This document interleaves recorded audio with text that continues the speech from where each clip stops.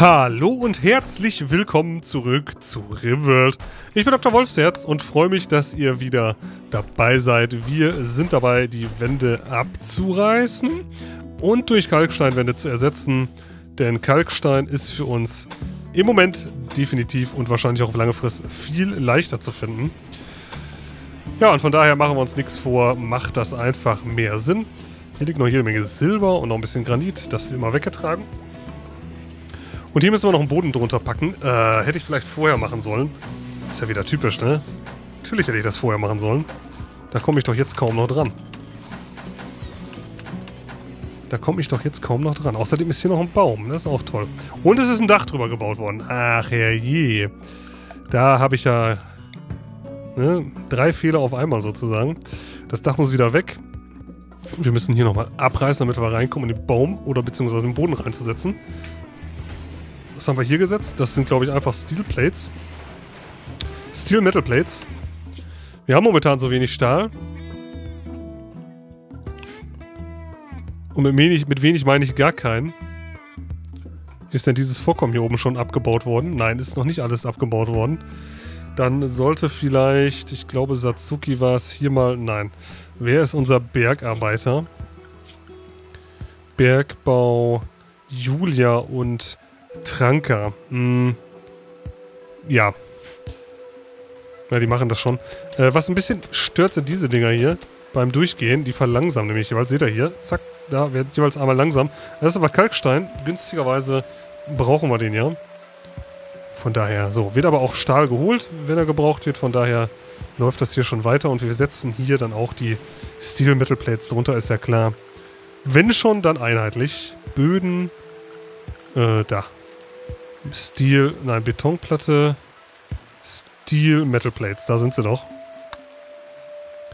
So, die kommen hier ähm, überall drunter, einschließlich Tür. Ja, hier kriegen wir sie nicht hin, es sei denn, ich würde die Wand nochmal abreißen. Ich bin sogar geneigt, das nochmal zu machen.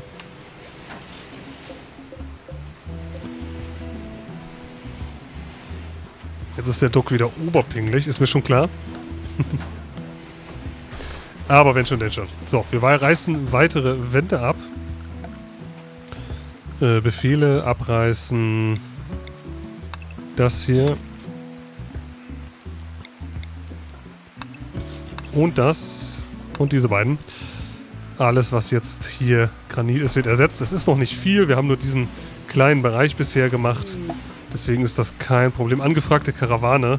Äh, nein, alles noch nicht. Alles noch zu früh für mich.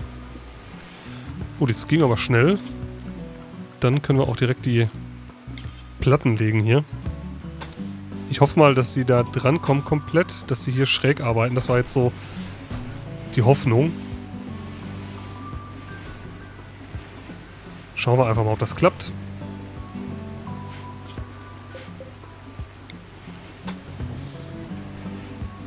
So, Krankenstation ist schon fertig. Oh nee, da fehlt ja noch eine ganze Wand. So. Und äh, dann bauen wir hier nochmal mindestens eine Lampe in den Flur. Ich würde mal eine hier oben hinsetzen und eine hier unten. Dann ist das einigermaßen gleichmäßig hell. Und ja, Medizinpakete sind genug da. Wir werden auch jetzt, wo wir die Funkfeuer hier und hier hingestellt haben, um quasi diesen ganzen Lagerbereich auch noch abzudecken, werden wir definitiv einiges von unserer Kräutermedizin verkaufen. Die können wir relativ schnell neu anpflanzen. Ich überlege gerade, ob wir nochmal Mais brauchen. Mais, Kartoffeln. Wir könnten nochmal Kräutermedizin machen. Äh, das wächst momentan eh nicht so super gut. Na doch, eigentlich doch. Ja doch, die Temperatur ist ja auch wieder in Ordnung. Wir hatten so eine Kältewelle, da war, der Wachstum, war das Wachstum so ein bisschen eingeschränkt. Ah, da hat der Fuchs den Waschbären getötet. Und äh, ja, wir holen uns hier nochmal ein paar Kalksteinbrückchen rein. Soll ja immer fleißig weitergearbeitet werden dran. Nikolas macht das auch. Beziehungsweise, äh, wenn wir dann jetzt schon so sind, dann können wir die Kalksteinbrocken auch hier einlagern. So, dann nehmen wir die halt noch mit dazu und Priorität bevorzugt. Dann gehen die eher hier rein als dort. Dann ist das hier quasi das Überlauflager. So, eine Heizungsstörung, das ist wurscht. Das repariert sich ja quasi von selbst. Da liegen schon die ersten Brocken und das geht dann schneller, ne? So, wir müssen mal ein paar Türen auch austauschen gegen Automatiktüren. Jetzt, wo wir die Reinforced Glassworks Produktions, äh, das Produktionstisch hingestellt haben, werden wir mal das herstellen, das Reinforced Glass. Und ich muss mal eben schauen, woraus. Das wird aus... Das wird aus Glas hergestellt.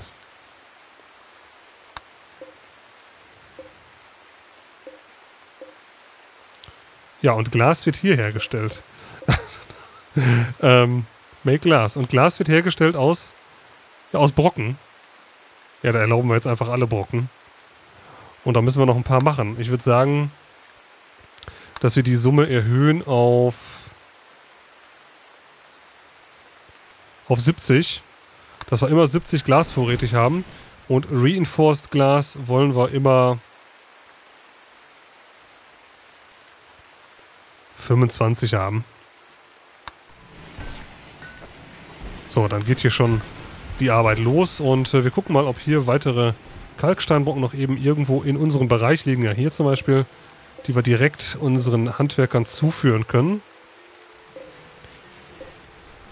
Ne, was quasi vor der Tür liegt, ist ja mehr oder weniger geschenkt. So, das soll dann erstmal reichen.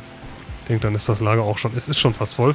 Es ist gerade, äh, irgendwie äh, haben wir Probleme mit dem Strom und tatsächlich, es sind die Batterien leer. Ist das hier eigentlich schon am Netz angeschlossen? Wahrscheinlich nicht. Habe ich wahrscheinlich wieder vergessen, natürlich. Ah, wie peinlich. So, machen wir natürlich noch. So. Eieieiei, haben wir sogar zu wenig äh, Material gerade für. Liegt der Boden hier schon? ist jetzt echt schwer zu erkennen.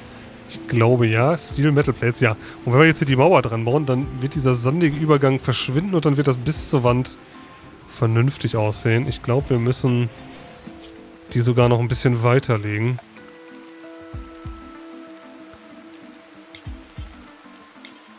Und zwar auch hier noch drunter. Denn sonst werden wir den sandigen Übergang an der Seite behalten. Äh, ja, müssen wir machen. Gut, Material ist ja fast da. Schau mal, Wand abgerissen, um neu zu bauen. Wächst da mal ganz schnell ein Baum einfach. Einfach so. Und die Turbine, die erzeugt 3000 Watt, das ist sehr viel. Fast am überlegen, jetzt dann doch noch eine zweite daneben zu stellen vielleicht. Würden wir außerdem auch Kalkstein bekommen. Von daher, komm. Ne, machen wir.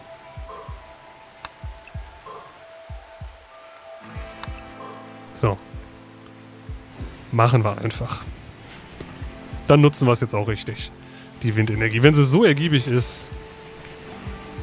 Ich meine, wenn das Ding hier am Strom ist, dann laden sich die Batterien auch wieder auf. Das ist momentan halt problematisch.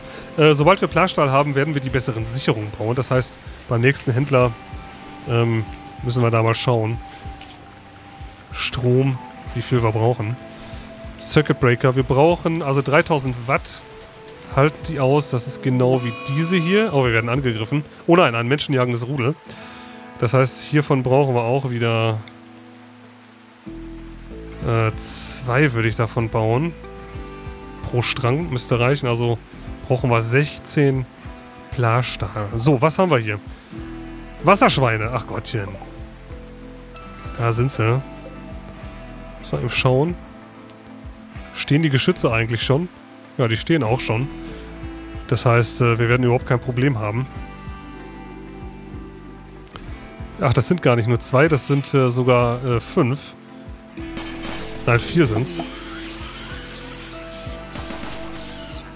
So, ich habe das hier gesehen, die Meldung, aber ich will jetzt erst wissen, was mit den Wasserschweinen passiert. Da durch den Strommangel ist eins jetzt auch gerade schon wieder ausgefallen. Ja, aber die sind schon erledigt, also da kommt das, kommen die anderen beiden noch. Da erledigt.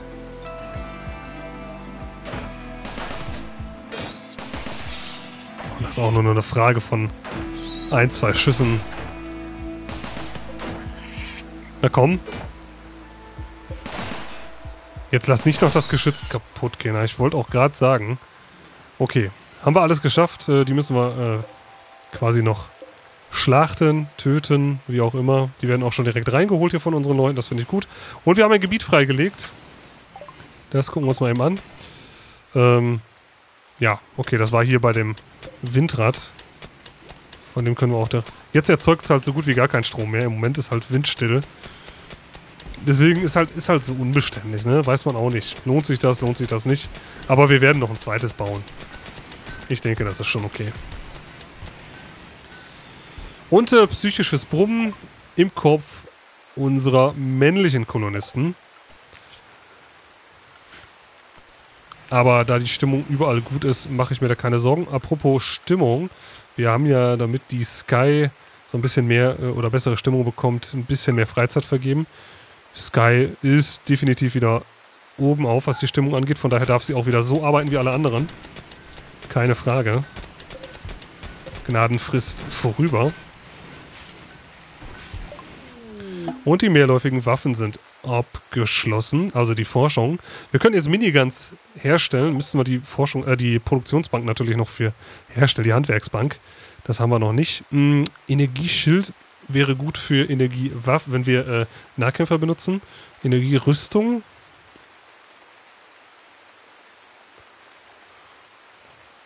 Das ist schon alles nicht schlecht hier, das ist auch neu. Aber ich würde sagen, wir gehen erstmal noch nach oben. Wir haben hier nämlich noch die Tiefenbohrung und den Tiefenscanner. Die würde ich mir auf jeden Fall gerne so bald wie möglich auch freischalten. Und wir haben wieder genügend Steine. Die sind auch gebaut worden, hier die Kacheln alle. Das heißt, wir können hier wieder komplett schließen. Und wenn die gebaut sind, ist alles fertig. Sehr schön. Es gab mal eine Mod, mit der man äh, Mauern auch über andere Mauern bauen kann. Ich habe vergessen, wie die heißt. Und ich habe die seinerzeit auch nicht eingesetzt, weil die Probleme mit irgendeiner meiner im letzten Let's Play aktiven Mods hatte. Ich glaube aber, dass das doch nochmal Versuch wert wäre. Ja, wir haben nachts scheinbar nicht genug Strom. Doch, nachts haben wir genug Strom. Wenn die Sonnenlampen aber tagsüber an sind, ja, ich sag mal die Geschütze, ne? Die haben natürlich auch extrem viel jetzt gekostet. Wir könnten mal ein paar Schalter bauen. Denn wir haben ja inzwischen auch die Scheint äh, die Schalter-Feindschaltung und sowas alles. Das heißt, ich werde hier mal einen Schalter hinsetzen. Neben diese Mauer. Und neben diese hier oben auch. Das ist ja schon so vorgesehen. Dann können wir die Geschütze nämlich abschalten. Die ziehen nämlich 350 Watt jeweils. Da können wir schon mal ein bisschen was sparen. Und dann schalten wir die auf Feindkennung um. Das heißt, wenn ein Feind auf der Karte entdeckt wird, kommt einer her und schaltet die Dinger ein. Aber nur dann. Und da Schalten in der Priorität hier immer recht oben ist, das ist hier Schalten. Es wird also quasi vor allen normalen Tätigkeiten auch gemacht. Rennen die Leute in der Regel auch schnellstens dahin und, weil die Schalter hinter der Mauer sind, äh, sogar ohne sich in Gefahr zu bringen. Ne? So war so war das Konzept oder der Plan dahinter. Haben wir denn schon ein bisschen was von dem verstärkten Glas? Haben wir. Reinforced Glas. Dann passt auf. Die Krankenstation kommt zuerst, weil da war das Ganze quasi von Anfang an so geplant. Wir bauen neue Türen. Und zwar die automatischen Glastüren.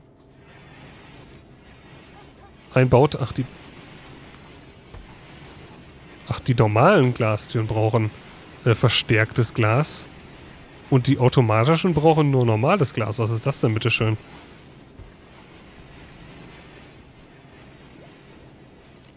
Hier ist übrigens ein totes Eichhörnchen, das werden wir mal erledigen. Äh, das hatte ich mir anders vorgestellt. Ich dachte, dass die, dass die automatischen, na, die brauchen aber halt Bauteile. Na gut, dann sind das hier mal halt sieben Bauteile, aber hier gerade im Krankentakt, wo die Ärzte schnell in die Zimmer müssen, rein, raus, Medizin rein, raus, immer wieder. Da sind Automatiktüren auf jeden Fall mal sinnvoll. Das heißt, hier äh, kriegen diese Räume die ersten Glastüren in Automatikausführung. Das haben die sich verdient. verdient ist gut. Nein, aber das macht hier Sinn einfach. Okay. Da werden die ganzen Sachen rangeschaffen und die ersten Türen eigentlich ist es nur noch Arbeit jetzt. Die Materialien sind soweit da. Ah, da kommen die Leute hier. Tata. Sehr schön. Automatiktüren und aus Glas. Natürlich ist das Milchglas, ne? Die unsere, unsere Patienten mögen es ja ruhig. So, wir brauchen jetzt mal langsam einen Drogentisch. Den bauen wir jetzt auch, damit wir unsere Medizin herstellen können, damit wir unsere Krankenbetten mal modernisieren können. Denn wir benutzen ja momentan normale Betten. Das ist allerdings suboptimal. Es gibt extra Krankenbetten, die eine höhere Immunisierungsgeschwindigkeit haben und auch ähm, Behandlungsvorteile bei Operationen, weniger äh, Fehlschlag und sowas alles. Von daher macht das Sinn, die zu bauen. Ich suche nur gerade das Drogenlabor. Ah, da ist es doch. So, das stellen wir. Das kostet auch acht Bauteile. Meine Güte. Was ist das alles teuer? So, bauen wir mal eine Kopie von dem Stuhl. Was sind das eigentlich? Normale Stühle? Ja, okay. Dann soll dieser hier auch mindestens normal sein.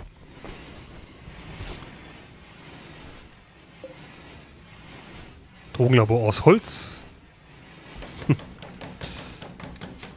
so, und dann gibt es direkt auch einen Auftrag. Wir möchten gerne erstmal normale Medizin haben und wir wollen immer immer 20 im Lager haben. Wie viele haben wir momentan? Vier.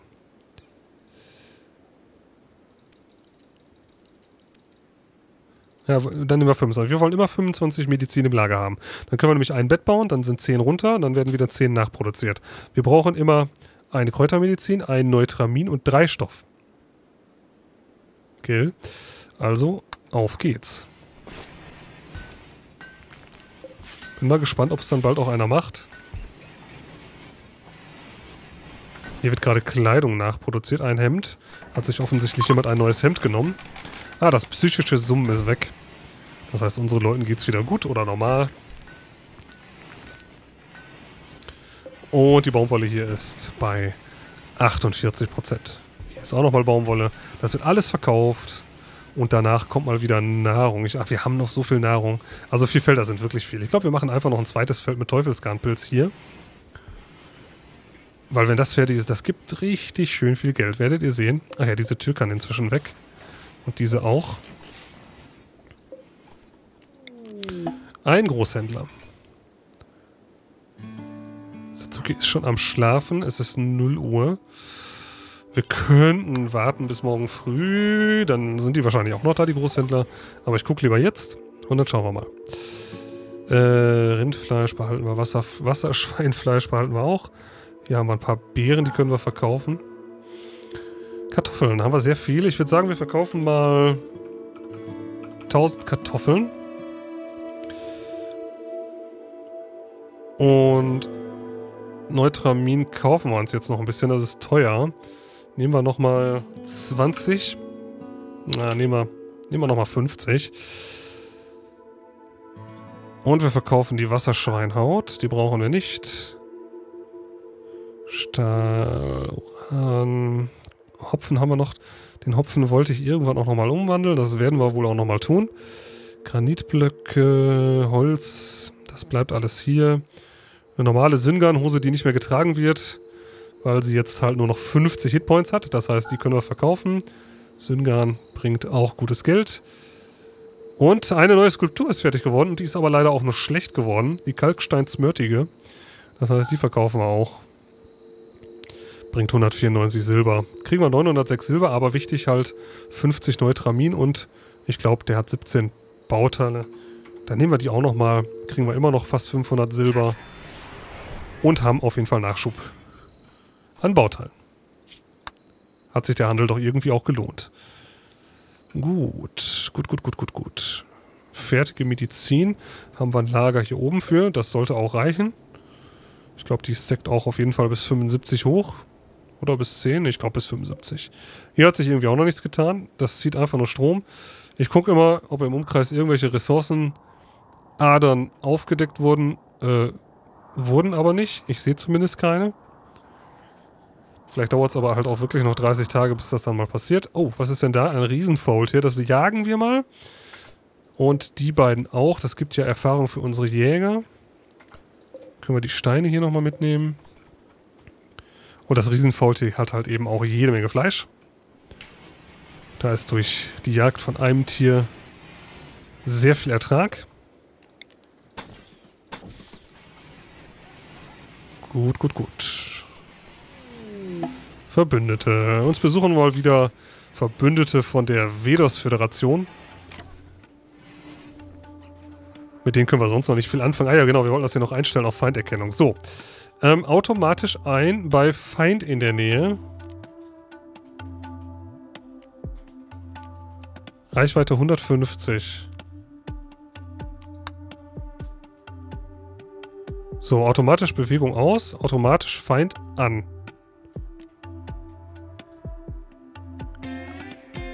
Ansonsten aus, oder? Das heißt, es müsste jetzt jemand kommen und das Ding ausschalten.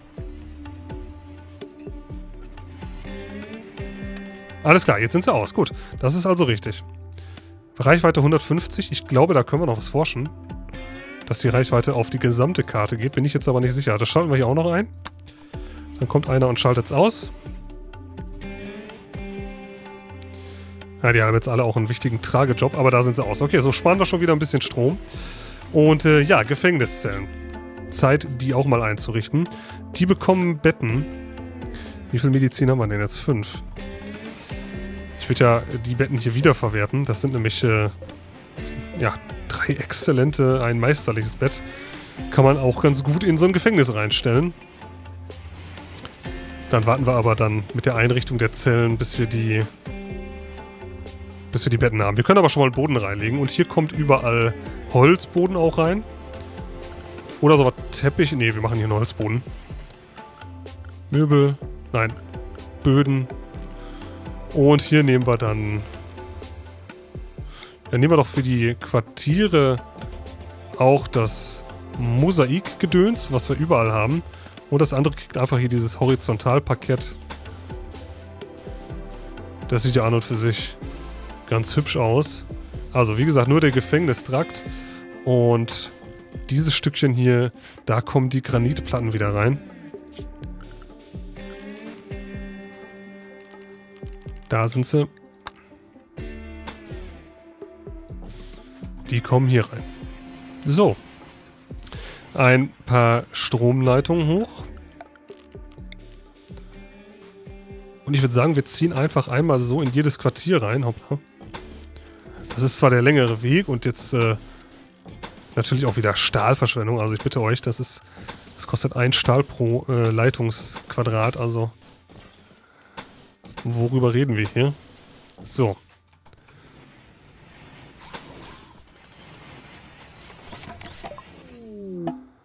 Tiefenbohrung. Forschung abgeschlossen. Ja, dann jetzt der Tiefenscanner, der ist sehr teuer, der wird nicht so schnell fertig werden. Aber dann können wir auf jeden Fall sehen, wo Ressourcen im Boden sind. Da gibt es jetzt Lämpchen. Oh. Ein Glastisch.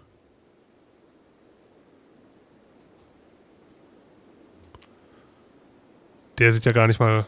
Der sieht ja gar nicht mal schlecht aus, dieser Glastisch. Definitiv auch neu. Also mit der Glasmod natürlich. Aber hier kommen jetzt erstmal normale Lampen rein. Und zwar in jede, in jede Hütte hier eins. Und jetzt muss ich mal eben überlegen, wie, wie richten wir die denn ein? Dann warten wir lieber, bis alles fertig ist hier. Und gucken dann vernünftig. Also im Flur kommt auf jeden Fall eine Lampe hier an jeden an jeden Abschnitt dran. Dann machen wir eine eine hier und eine hier. Das sollte eigentlich dann auch schon reichen. Hier muss natürlich auch eine Lampe rein. Hier ist die letzte, dann platzieren wir hier auch nochmal eine. Dann ist es nicht so düster hier.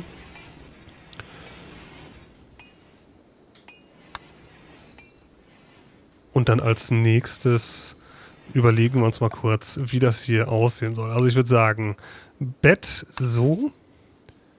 Und dann eine Blume, vielleicht an, ans Fußende. Tisch und Stuhl. Ja? Ist okay, oder? Gucken wir mal jetzt nach den Tischen, nach den Möbeln. Sollen wir die aus Glas nehmen? Ist natürlich extrem luxuriös. Ich glaube, für die reicht auch hier äh, ein kleiner Tisch. Äh, ja. Noch kleiner, bitte. Wo ist denn der kleine Tisch bitte hin? Ah, wir können den Tisch aus Glas Oder aus verstärktem Glas bauen, das ist ja auch witzig. Aber ich wollte eigentlich den, den kleinen Tisch haben. Den sehe ich jetzt gerade nicht. Ähm, also den, den noch, es gibt den, den noch kleiner. Aber nicht hier. Dann kriegen die jetzt Glastische in Gottes Namen. So, der Tisch kommt in die Ecke. Und dann kriegen sie einen Hocker dazu. Aus Holz natürlich. So. Soll mindestens gut sein. Können wir bei dem Glastisch nicht einstellen. Eine Vorratskapsel. Kurz schauen. Äh, der. Hühnereier. ja.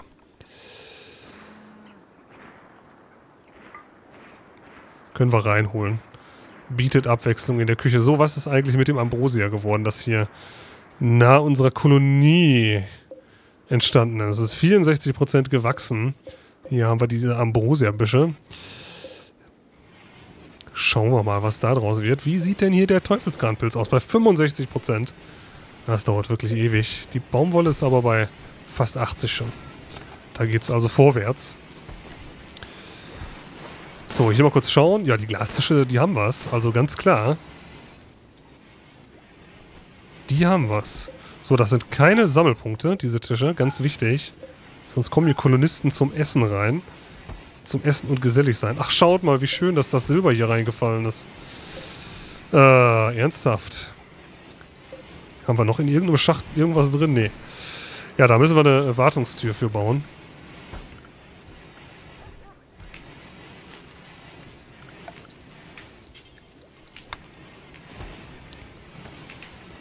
Damit wir da mal drankommen und das Silber da rausholen können.